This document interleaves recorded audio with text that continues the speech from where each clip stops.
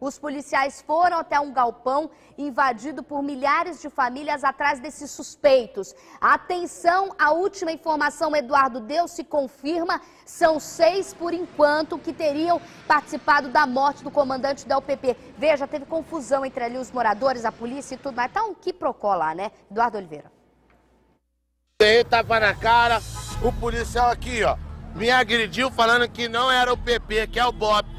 Independente de que é o BOP, ele não pode bater na cara de um chefe de família. Este galpão foi invadido por cerca de 5 mil famílias está com policiamento reforçado. O objetivo seria tentar localizar homens que estariam portando fuzis na parte de dentro do galpão. Os moradores estão saindo aqui do lado de fora, informando que os policiais estão agindo com violência. Acredita todo mundo, moço. Não entrou aí, ó. Nós é morador. Nós é canônica, canônica, não, que é moradia. Eu entrar, tô batendo no... A pessoa de bem fui buscar o meu remédio.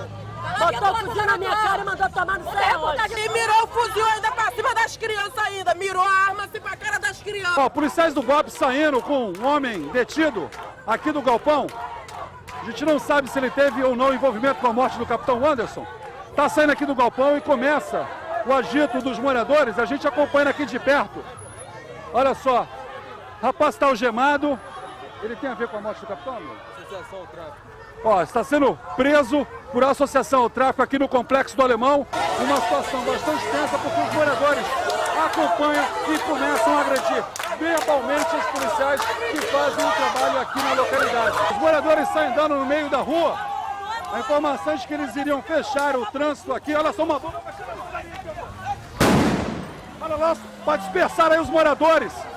Aí, viu? Tá? Uma situação bastante tensa neste momento aqui. A gente acompanhando criança aqui. Olha só, a bomba de gás lacrimogênio foi lançada pelo policial, dispersou os moradores. Com muita dificuldade a gente consegue respirar. E agora ele segue para o outro lado do galpão. Olha só o tamanho do terreno e do galpão. A informação é de que são pelo menos 5 mil famílias que vivem na parte de dentro dessa região. Bom, uma senhora está passando mal, o coronel Cajueiro, que é o comando de polícia pacificadora, se aproxima dela, está chorando bastante, e vai conseguir um policial para que a leve até a UPA do Alemão. filho.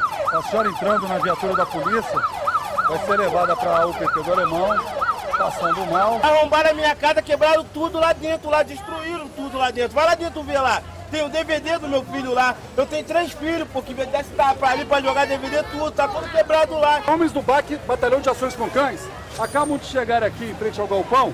Eles vão dar apoio aos companheiros que estão na parte de dentro aqui da, do terreno. Ó, policiais do BOP entrando mais uma vez aqui no galpão. Nessa operação que começou às 6 horas da manhã.